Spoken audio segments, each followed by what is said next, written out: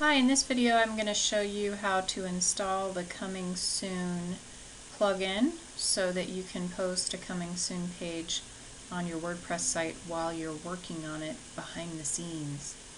So the first thing you want to do is be logged into your site, go to the Plugins menu, click Add New. In the Search Plugins, type in Coming Soon and select the plugin you'd like to use. They're all pretty much the same. They do have some certain features. If you're looking for something specific, uh, feel free to browse.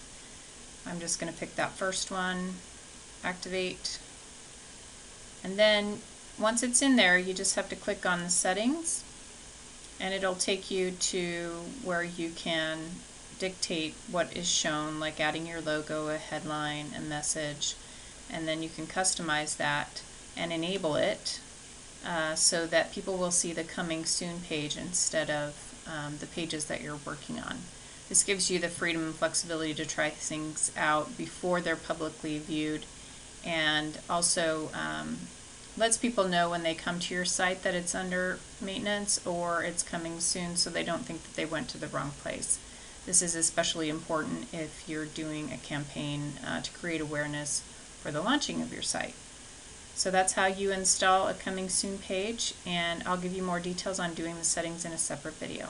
Thanks for watching.